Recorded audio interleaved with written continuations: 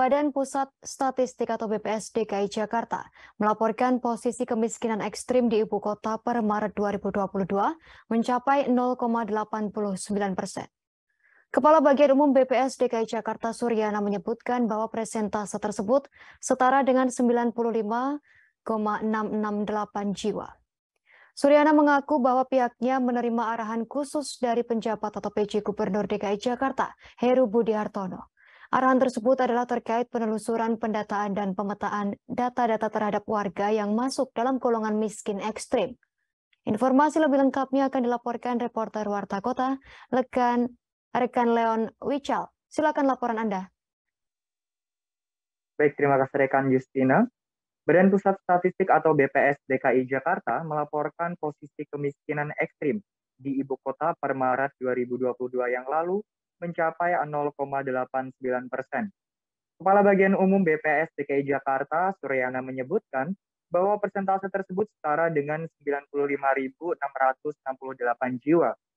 Fakta yang ditemui oleh Suryana di lapangan memang masih ditemukan sampel rumah tangga yang teridentifikasi sebagai penduduk miskin ekstrim.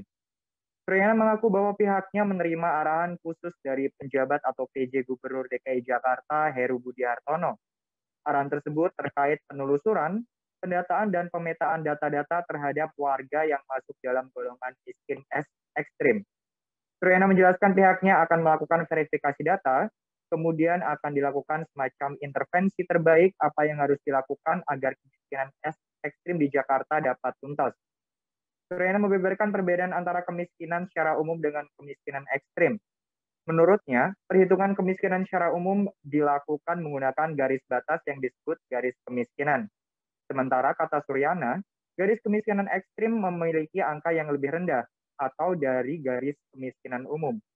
Suryana menyampaikan lebih rendahnya ada di angka setara dengan 1,9 dolar atau dalam arti keseimbangan kemampuan belanja Apabila dikonversikan ke rupiah, pengeluaran menjadi senilai Rp11.633 per orang per hari atau sebesar Rp350.000 per orang per bulan.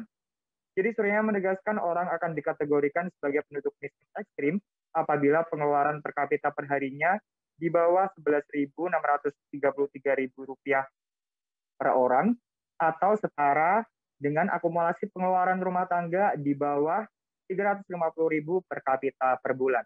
Demikian informasi kembali kepada rekan Justina di studio. Baik, terima kasih atas laporan Anda rekan Leon Wical dari Warta Kota. Selamat bertugas kembali. Terima kasih sudah nonton. Jangan lupa like, subscribe, dan share ya.